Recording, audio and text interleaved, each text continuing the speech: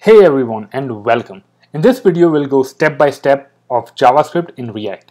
So this will be our code.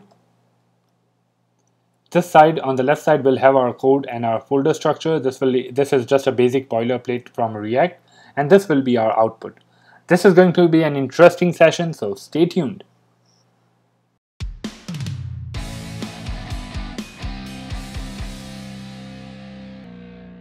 After this video, check out this awesome React projects on our channel. Also, follow us on Instagram. We have a special giveaway on 3000 followers. And don't forget to like, comment, and subscribe. Okay, so let's take a look at class and functional component. If we go to the code, this is what we call it as a functional component. This is a function, right? We can have a class-based component, something like this. Cla uh, class, it starts with class, app extends react component you can even have component something like this. And you don't need to react here. And the first method should be render. Render is something which shows anything on the screen and this should have a return. And this return is going to be a HTML tag. So welcome from class. Okay see so this is what we call it as a class component and this was our functional component. Okay. Okay so how to write an arrow function? So we can convert this function into an arrow function by simply changing it to something like this. Const app is equal to uh, parenthesis and return h1 welcome from arrow function. Okay I'll just remove this and this should work fine. Welcome from arrow function. So this is what we call of arrow function. It's because this fat arrow. And you can use this arrow function anywhere. It's not just limited to components. You can even have it inside of a small function Number three is template literals. So template literals are something which are enclosed by a backtick. So let's take a look at this example. In this one, we already have assigned a username, which is edurise. And this function, it returns you the username. So the standard way of doing it is hello space and you do a plus and use username. But sometimes it gets tedious when you have a lot of other names. Let's say first name, last name and bunch of different stuff. So to make things simpler, we use template literals and the format is something like this. So you have a backtick, start with the text which you want, space, and then this is how you write the template literal. Dollar, curly bracket, and your variable name. So if you see now, it's gonna show you that this is hello edurise template literal. So this is a template literal map, reduce and filter. Okay, so let's take a look at this example. Here we have a bunch of users and user has a name, has a city and age. Okay, so if we want to map through, like map through means like go through each and every one, we use a simple map, something like this. User.map and individual user, we return their name, age and city. Something like this. It's going to show you like this, right? So now what is a filter? So filter is simply going to give me based on if I have a condition, it's going to give me the result with which matches those condition. So I have a users dot filter and if the user city is day role, it is going to give me those users. So it's going to find from the complete object and give me just two. It is supposed to give me two users. So let's take a look if it works and this does work, right? So what happens is you return a complete new array here with the required users and it is going to map through it. So filter is attached to a map. So after this, this is going to return an array and map is going to go through that array. Okay, so let's take a look at reduce. Reduce is something which gives you kind of an kind of a total. So you can do something like this. users.reduce. This is an accumulator and this is a current value. And all we do is accumulator is we are setting it to 0 so this is our initial value we can tell say something like that and current value and we keep adding the accumulator with the current value and current dot age so this is what we care about if we have something like city is going to add it to the string let's see city first of all let's take a look at age. It is supposed to give you a number which is a total of all the ages. If we do city it's going to take like the whole thing. So starting with 0 is going to take the whole string of of cities which we have. So reduce you might not use reduce and filter too much but map is definitely you will be using. So what is var let and constant so as you can see in this example we have a variable which is single data and we called it we assigned it 0 and if I do a set state of a single data it is going to give me 0 and let's try with 10 okay so it's going to give me 10 now if I try to change so first of all var is something that is function scoped. It's scoped to this particular function and let and constant. Both of them are block scoped. Anything within curly brackets are block scoped. So let and constant are block scoped and var is like function scoped. Even if I define var inside of this block it is going to give me 10 right?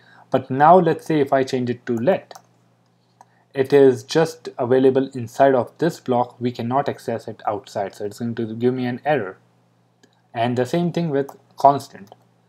It is within this scope or within this block so it's going to give me an error. Okay so let's take a look at how to this is still going to work but let's try this. Let and if I try to assign let or have a let variable inside as well it will work right? It's going to tell me that this the, uh, see again this is a block scope so it doesn't matter if the value is 20 but if I change this to just I'm just assigning it it's going to change it to 20 okay so you cannot have var as a variable inside of a block scope because we already have defined single data as a let and for that reason we cannot have a var as 20 if you do this it's going to throw an error. It's been already uh, declared. Okay let's take a look at the constant if we have a constant variable and if I try to change it it will give me an error saying that it is a constant variable and you cannot change it. So this is all you need to do is just to assign it and use it if you can. Okay, so this is about let var and constant. Import and export. So this is something we do in order to make our code cleaner and keep our functions smaller. So for this reason I have already created a folder which is like a, called a do export. And what it does is it exports a function export default and it exports this exported function. And we also have a named function which says like export constant exported function. And it says like exported from a named function. So let's take a look how are we going to import it. So if I go into our app.js all you simply need to do is just import and this is because we have a named function. We have a constant which is named which has a name right? So we have exported a constant. And we import a constant something like this. Or either you can do uh, exported default one which is this. And you can have a any name which you want. Any name I can just name it anything. And name and it's just going to give me exported function so which is a exported default one and you can even export default constant so it kind of works in the same way async await. So this is a way to handle promises when you are dealing with API. So this is an example of .then .then when you get a result from an API which is a this is a dummy one. So we can use it in a simpler way using async await and it is something like this. So let raw data equal to fetch. We fetch it something from here. And we'll use await in the beginning. And it's going to give you an error saying that await is supposed to go with async. Await outside an async function. You cannot use it so for that reason you need to have a wait uh, async here and then the error is going to go away. And now the thing is that you need to do the same procedure as you do here data.json and then you'll get a data something like this. So let's do that. Okay let data equal to await raw data dot json and set employees we need to do the same thing as we do here. Set employees to data dot data. So this was not a good way to write data dot data and that's why I called it call, uh, like fetched result. But let's see. We should get the same result and if I do a data dot reverse you'll see that something is going to change. Okay reverse is not a function because it's supposed to be data dot data. And it is in a reverse order but now you'll see in the right order. Okay so this is how you use async await and you fetch things from API you can even use fetch dot then dot then but that's fine.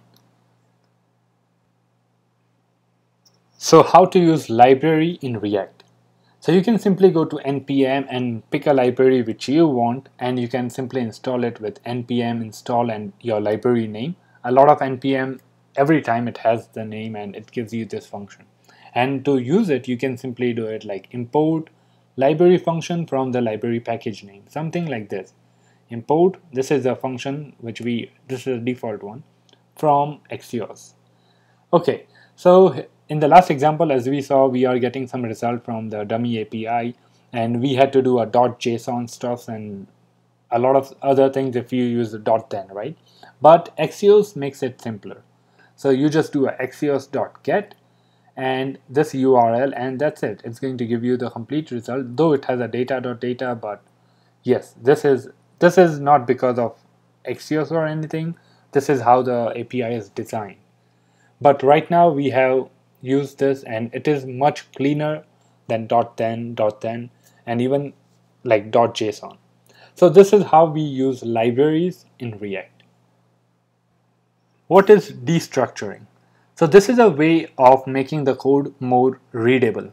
So when we are passing props in React, these are two separate functions which are comp functional components and we have a user object inside of app.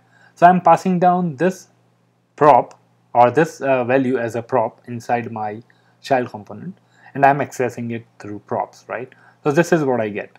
So I can simply break it down into like the same thing as detail, details, and now I don't need the props anymore. I can simply use details and this should be good to go. I'll have name, age, and job title. I can even break it down something like this. So const name age and I'll just name it as oh uh, I need to put it like details and name. And this should work. So this is how you get objects from like when it's nested too much. And there's another way to destructure this as well saying something like name and age and you don't really need this so this should give you the same result as well. But people don't go to this uh, two level nesting. They simply go to one and then they use the constant like we did before. So this is how we do the destructuring. How to use spread operator in react. So if you look at the example here we have a list of colors and orange blue and green and we need to add a new color to it. So we have a function which is called add color and we call it after two seconds. So let's try to call it and see what happens. So we have three colors at the moment. After two seconds, we have brown. So this uh, spread operator deserves a complete new video where we can go in depth because it has a lot of advantages. And one advantage here is that React states are immutable. So spread operator helps us achieve that. So what is a ternary operator? So ternary operator is a conditional statement which you can use inside of this HTML block. So the format is something like this. Here you have a condition, question mark, and if the condition is true, this should execute. If the condition is false, this should execute. Right now in the example, you can see we have is online true. It is going to execute this command. And you can even have a nested condition. Let's say is online again, and if the condition is true, nested true, or else you will have nested false right? So it is inside of this condition and it has a nested true because it is true. And if you have a completely new variable something like nested equals to false and if we check nested it's going to give you a nested false because first condition is true but the second condition is false. So this you'll use it for a lot of reasons in React. Okay, so I really appreciate the time that you guys are watching this and if you guys have any question don't forget to send us an email. The description you'll contains the email address. And also like comment and subscribe to this channel. It does help us a lot and follow us on instagram we post a lot of useful content on there so I'll stay tuned and I'll see you next time. Have a good one. Bye bye.